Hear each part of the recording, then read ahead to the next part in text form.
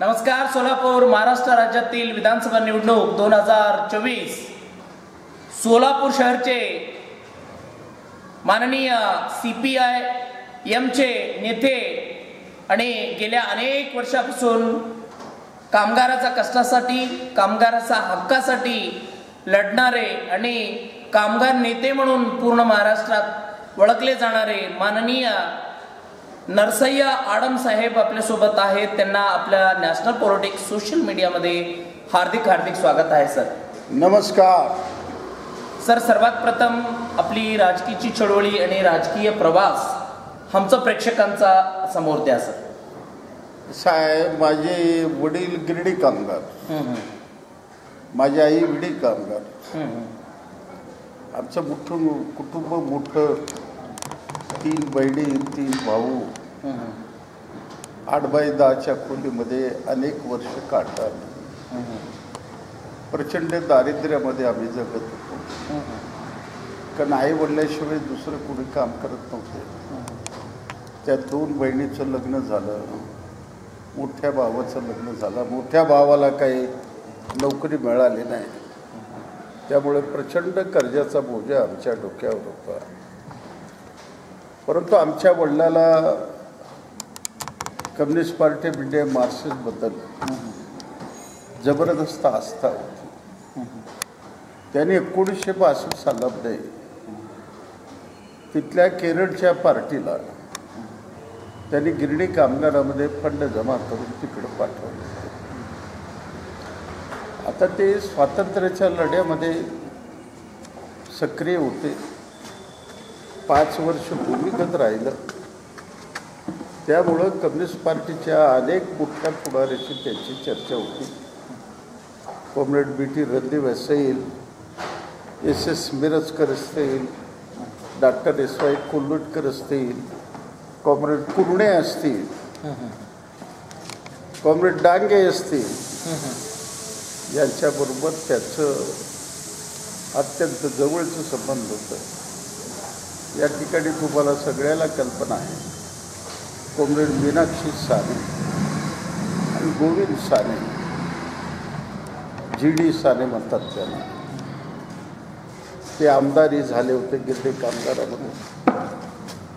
बिडी आणि गिरडी कामगारांची मोठी चळवळ सोलापुरामध्ये त्यांनी उभं केलं म्हणून लहानपणापासून एकोणीसशे सत्तावन्न सालापासून मला गोडी होती.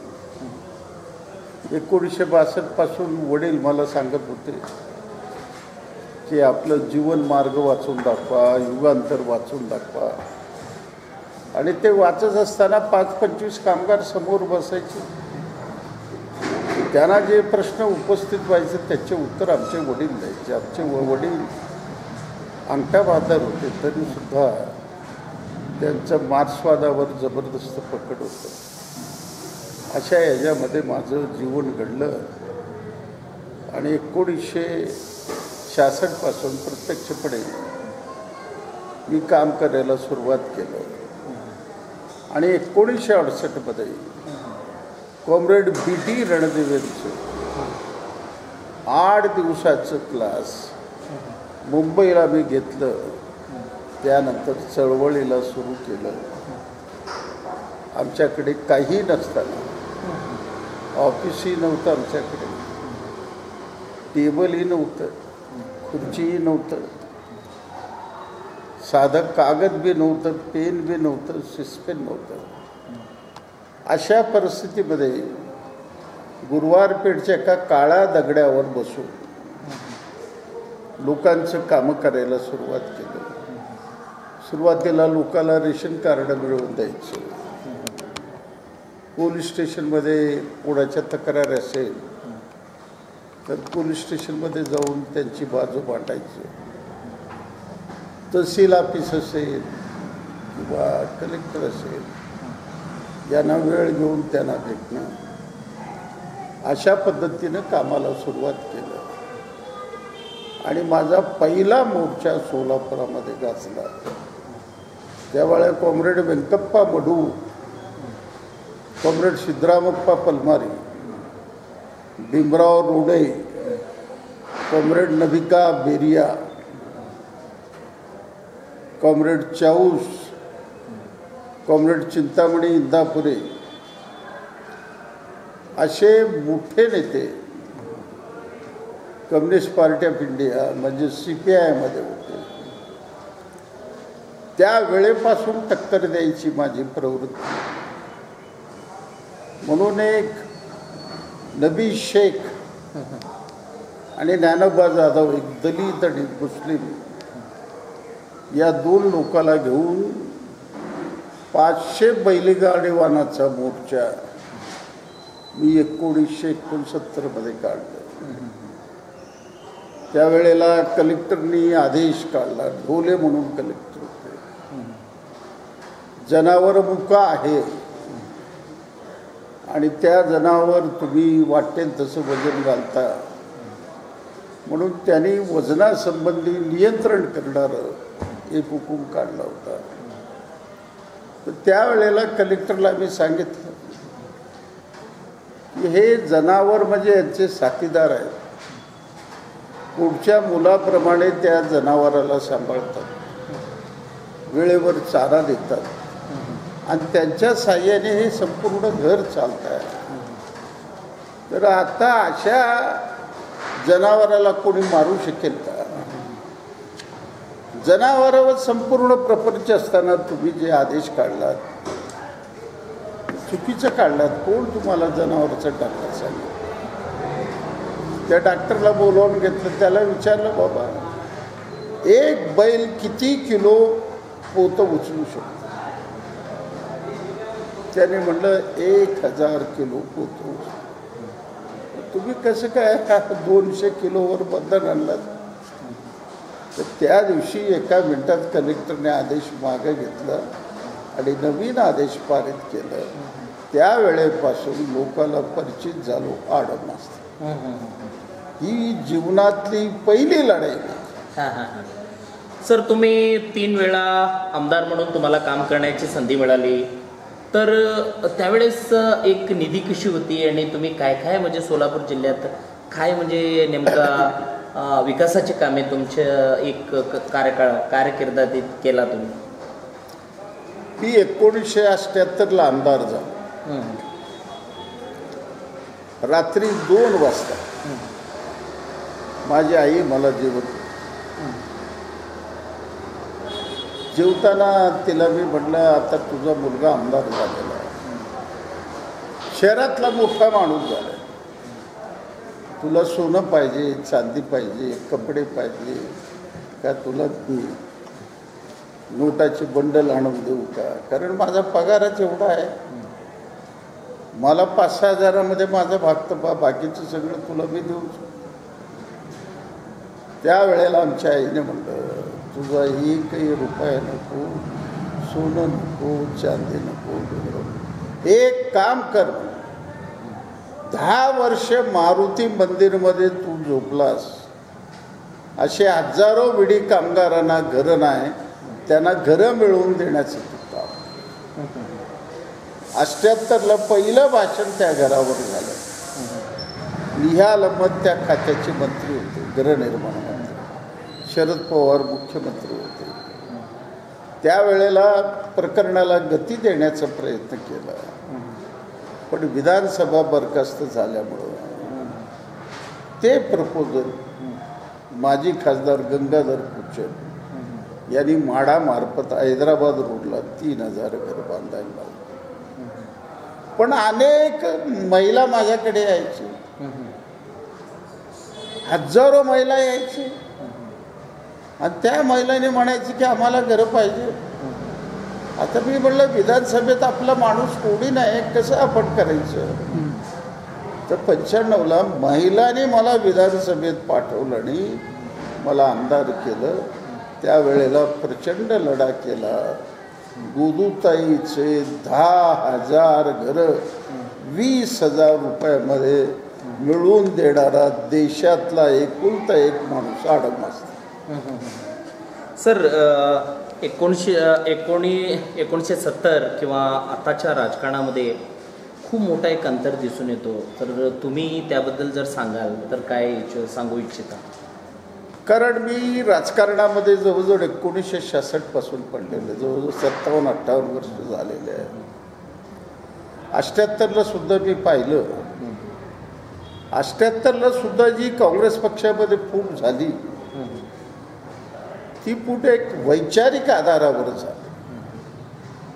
श्रीमती सोनिया गांधीचा जो कारभार होता तो कारभार नामदार शरद पवारांना मान्य नव्हतं.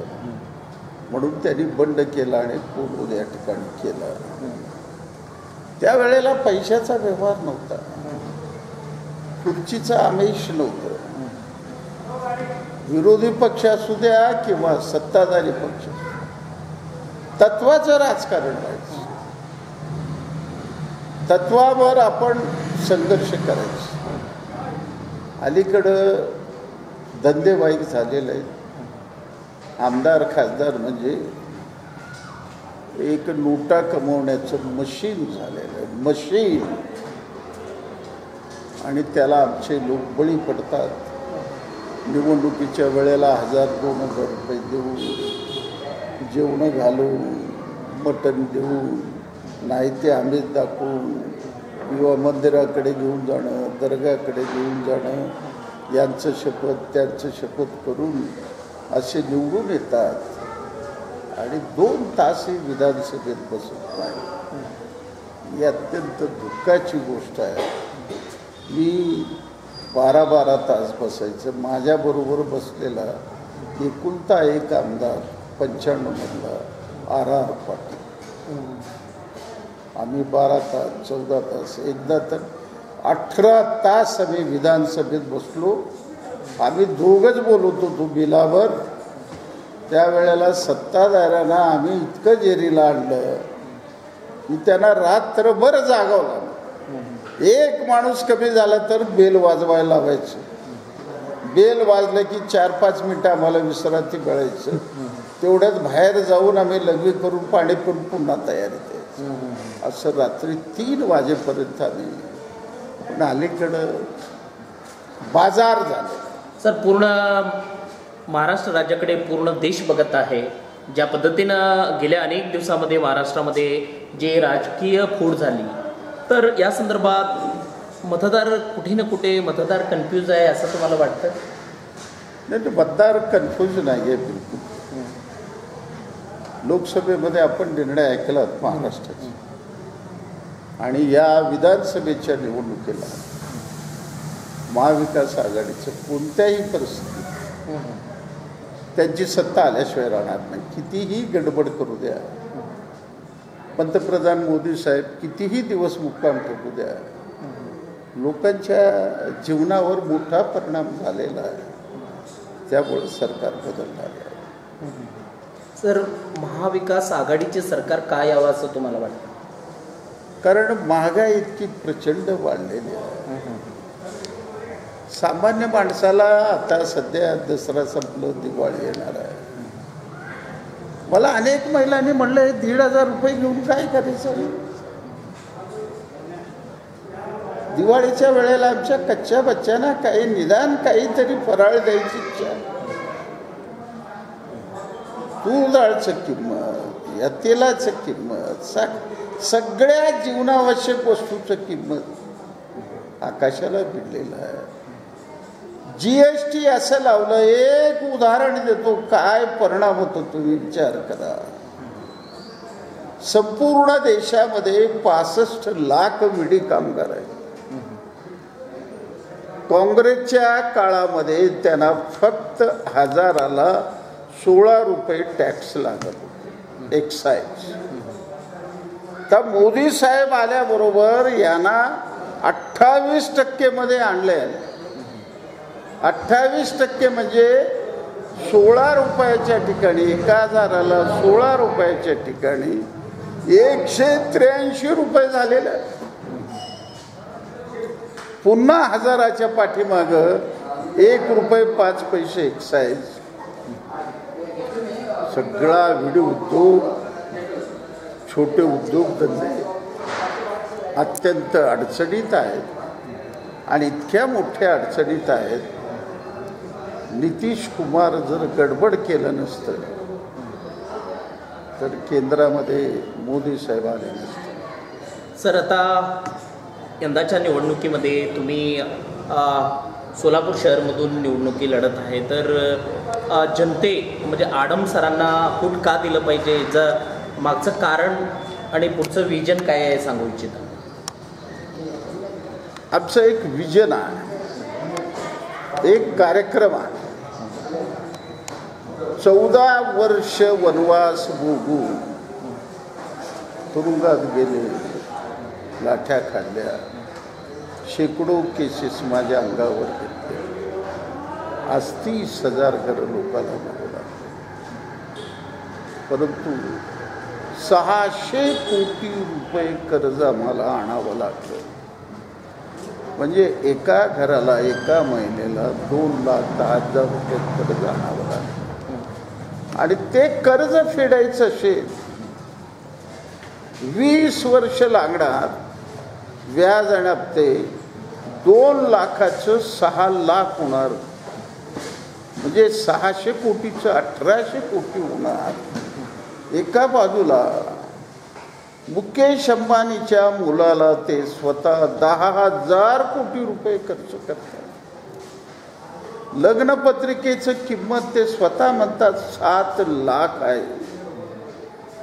सोनं आणि चांदीच्या पाण्यामधून काढलेलं लग्नपत्रिका. अशा अदानी अंबानीला बावीस लोकांना नऊ वर्षामध्ये. सोळा लाख कोटी रुपये. बँकेचं कर्ज माफ. आणि स्वतः मी पंतप्रधानापुढं मागणी केली सव्वा लाख लोकांपुढं. हे अत्यंत गरीब आहे. यांना हे व्याज आणि हप्ते भरता येणार नाही. तुम्हाला माझी विनंती आहे. हे सहाशे कोटी रुपये माफ करा. याला उत्तर काय दिलं आमच्या पंतप्रधानाने? मुख्यमंत्री होते उपमुख्यमंत्री होते केंद्रीय मंत्री होते राज्याचं अर्ध मंत्रिमंडळ होतं सगळे पंचवीस आय एस ऑफिसर होते. आमच्या पंतप्रधानांनी उत्तर दिलं जय श्रीराम. प्रश्नावर त्यांनी पडदा टाकला. म्हणून माझी पहिली मागणी राहणार आहे हे जे तीस हजार लोक कर्जामध्ये बुडलेले आहेत त्यांना कर्जमुक्ती मिळवून देणं हा मला पहिला अजेंडा आहे. माझा दुसरा अजेंडा आहे. देशातील पंच्याहत्तर लाख असंघटित कामगारांना. आज पाचशे ते दोन हजार पर्यंत पेन्शन मिळतं. सरकारच्या तिजोरीमध्ये साडेतीन लाख कोटी रुपये जमा आहे. पंच्याहत्तर लाख माणसं रिटायर झालेले पंच्याहत्तर लाख माणसं. दर महिन्याला पाच हजार माणसं मरू लागलेले आहेत. त्यांचं दहा हजार पेन्शन करायला केंद्र आणि राज्य सरकार तयार नाही आहे तो माझा अजेंडा आहे. शहरामध्ये दररोज पाणी मिळावं. तरुणाच्या हाताला काम मिळावं. झोपडीमध्ये राहणाऱ्या त्या आमच्या महिलेला पाच लाख सबसिडी मिळावं. विडी कामगाराचं किमान वेतन असेल यंत्रमाग कामगाराचं किमान वेतन असेल त्यांचं महामंडळ असेल रेडीमेड कामगार असेल असंघटित कामगार असतील रस्त्यावर बाजी विकणारी बाई असेल किंवा रस्त्यावर रिक्षा चालवणारा माणूस असेल किंवा कलेक्टर कचेरीमध्ये बसणारा काम करणारा क्लार्क असेल यांचं जुनं पेन्शन त्यांचे हक्क त्यांचे अधिकार फार मोठे प्रश्न निर्माण झालेले आहेत. संपूर्ण देश संपूर्ण मुंबई अदानी अंबानीच्या घशामध्ये घालण्याचा प्रयत्न सरकारचं चालू आहे. स्मार्ट मीटरच्या नावावर गरिबांना उद्ध्वस्त करण्याचा प्रयत्न चालू आहे. तर या सर्व प्रश्नावर विधानसभेमध्ये एक श्रमिकाचा प्रतिनिधी म्हणून आम्ही संघर्ष उभं करणार आणि त्या संघर्षामधून लोकाला आम्ही न्याय मिळवून देणार. मी काही नसताना असंघटित कामगारांना तीस हजार घरं विडी कामगारांना दहा हजार घरं इतर विडी कामगारांना साडे अकराशे घरं माझ्या जीवनामध्ये संपूर्ण भारत देशामध्ये साडे एक्केचाळीस हजार घरं मिळवून देणारा एकुलता एक माणूस आडम असतो सर हा विधानसभा निवडणुकीच्या संदर्भात सोलापूर शहर जनतेला काय विनंती कराल तुम्ही? माझा जो अजेंडा आहे सरकार कोणाचं येणार याची मला पर्वा नाही आहे पण माझा अजेंड्यानुसार मी काम करणार. प्रसंगी मला तुरुंगात जायची पाळी असेल लाठ्या खायची पाळी असेल गोळ्या घ्यायची पाळी असेल त्याला सामोरा जाईल. माझा अजेंडा पाच वर्षात पूर्ण केल्याशिवाय गप्प बसणार नाही. आतापर्यंत आमच्या नॅशनल पॉलिटिक्स सोशल मीडियामध्ये सहभागी झाल्याबद्दल आपला मनपूर्वक आभार सर. आभार. आणि पुढील वाटचालीसाठी आमच्या नॅशनल पॉलिटिक्स सोशल मीडियाकडून खूप खूप शुभेच्छा. आभारी आपण आलात एका गरीब कार्यकर्त्याला संधी दिलात. तुमचा आभारी. तर मित्रांनो आत्तापर्यंत तुम्ही ऐकलात माननीय नरसय्या आडम सर यांच्या विशेष ध्येय आणि पुढ पुढील जे विजन आहे त्यांनी तुमच्याबरोबर सादर केलेत. आणि मतदान हा सर्वांचा हक्क आहे. तर प्रत्येकाने न चुकता मतदान करा अशी विनंती आम्ही नॅशनल पोडे पॉलिटिक्स सोशल मीडियाकडून करून आता इथे थांबतो. जय हिंद जय महाराष्ट्र.